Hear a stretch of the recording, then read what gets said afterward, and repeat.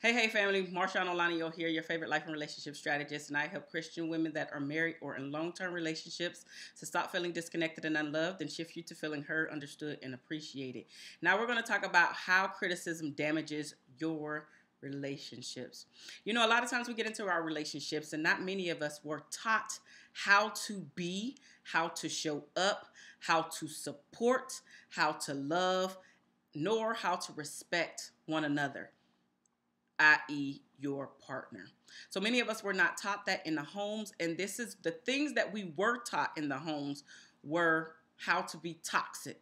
No, that is not what your parent or guardian said, but it is the things that you witness. It is the things that you often seen. And now we're continuously thinking that those are the things that are normal, which they are not most of the time. The toxic energy, the toxic behaviors the always yelling, screaming, fussing, fighting, name calling, physically hurting one another, emotionally abusing one another, that all of those things, none of them are normal.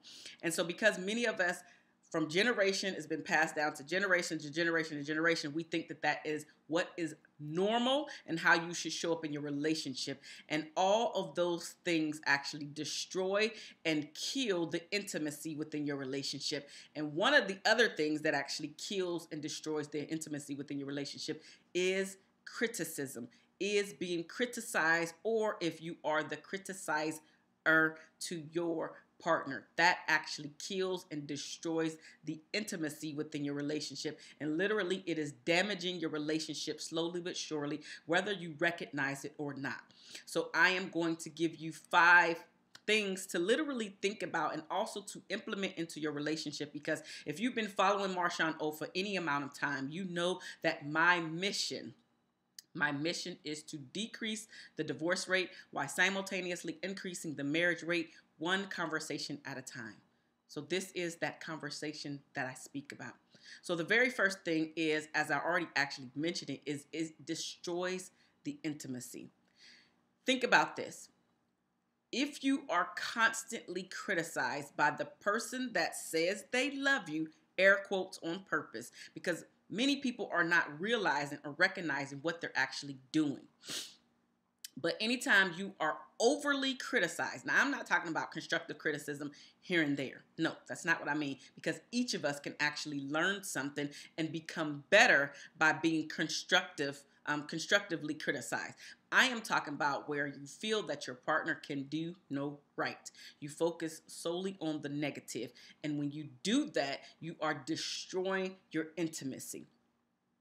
Another thing to think about is literally the people that you like to be around the most, whether it's your spouse included in this or not, the people that you like to be around the most are the people that make you feel the best about yourself, but also they just make you feel good, period. They make you feel good inside. They make you feel good about yourself.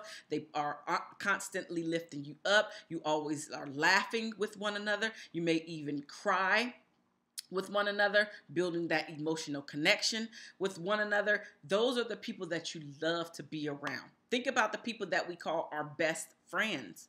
They are our best friends because they make us feel a certain type of way when we are in their company, and vice versa. You also make them feel a certain type of way when you are in their company as well. And so think about if your spouse fits this mode, or if you are the person that is criticizing, do you fit this mode?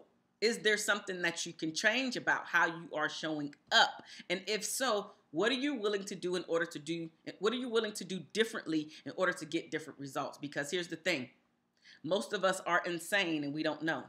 And literally the definition of insanity is doing the same thing over and over and over again expecting different results. There is no way that you are going to get different results by showing up and doing the exact same thing over and over and over again. So if you are a person that is destroying the intimacy by being the criticizer, you need to cut it out. especially if you do not want to lose the partner, your spouse, the person that you claim that you love, that you truly want to build your relationship and or marriage with. The second thing is that it widens the emotional distance, replacing all of that hugging, loving, cuddly, happy, uh, butterfly feeling within your body, replacing all of that with resentment and hostility. And again, this doesn't happen overnight. It's over time being criticized after criticized after criticized after criticized.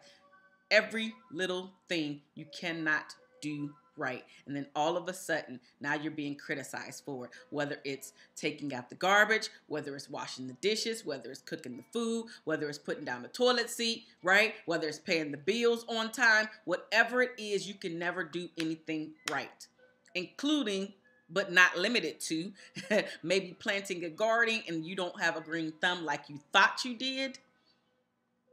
Right?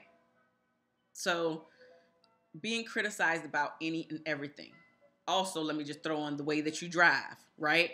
Being criticized over and over and over again, again, is destroying your intimacy. And of course, it is a widening the emotional distance or widening the emotional gap. And as I mentioned before, the person that you're feeling the most connected to will be the person that you share your emotional side with.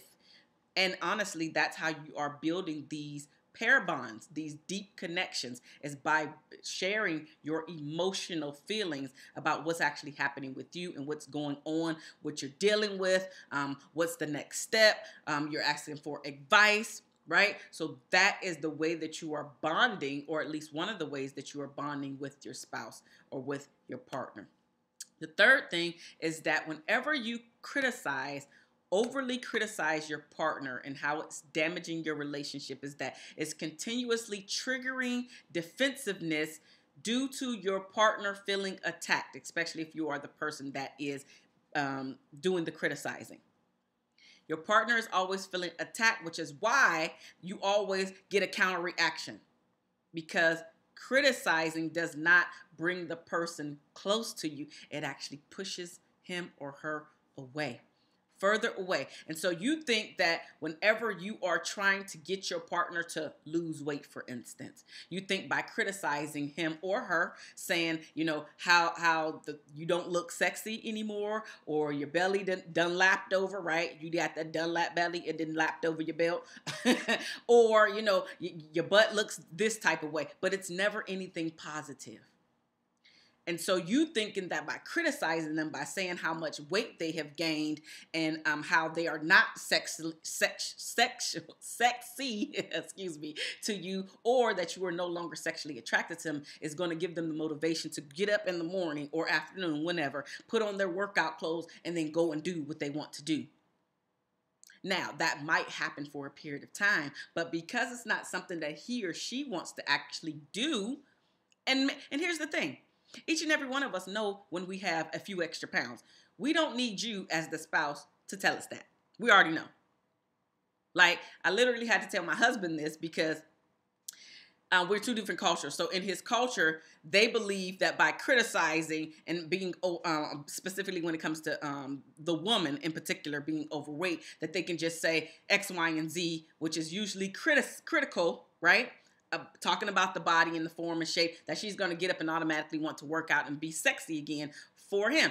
But she's not. She's not. And so what ends up happening, and this is in most cultures that I know of, right? So what ends up happening is we become rebellious. That little child that's within each of us now comes out. And because I don't want you to tell me what to do, instead of me just verbalizing or us always getting to arguments, I'm just going to do what I want to do. And so, guess what? You're never going to see me in workout clothes, let alone working out, because I don't want to.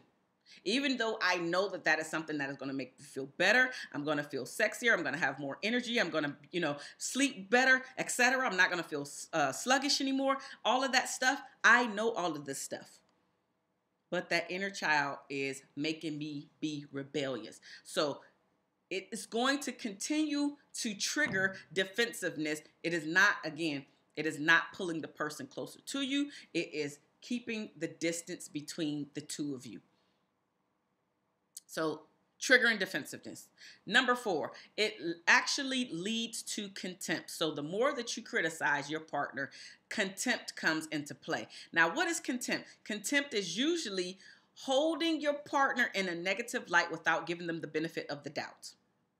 And I, I, mentioned that before, but that is what contempt is and is constantly what you see, what you believe about your spouse. Nothing but negativity. Nothing positive ever comes to the forefront of your brain about your spouse anymore. That is contempt.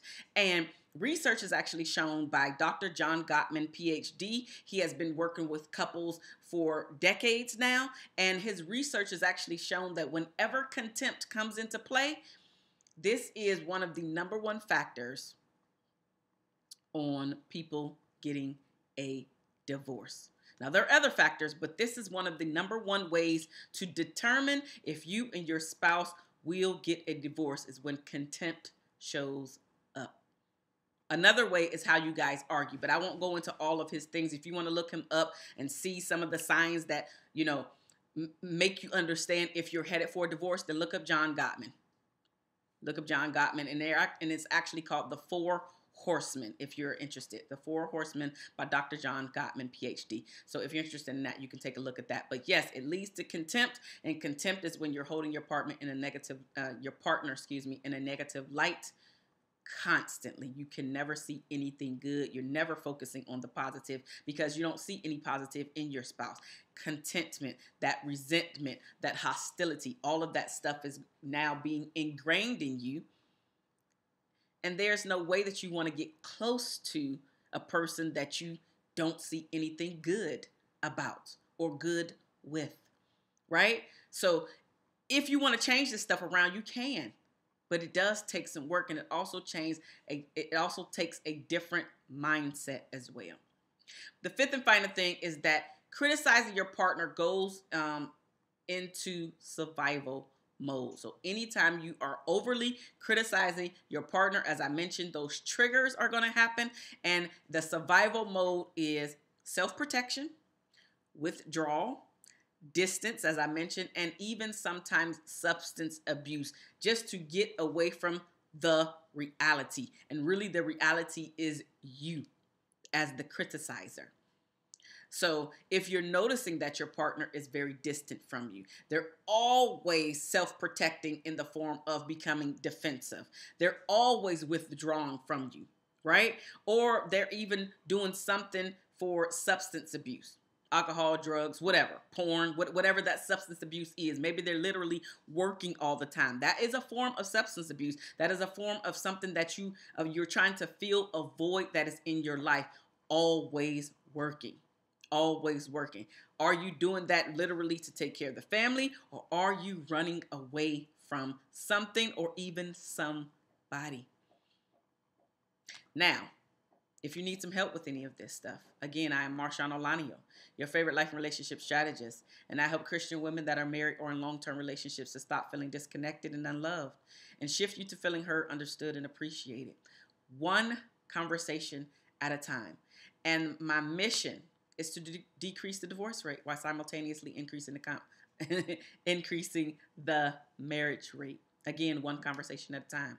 So if you are ready to change your marriage around, if you are ready to change your relationship around so you can be better, because the change that you seek is within you first.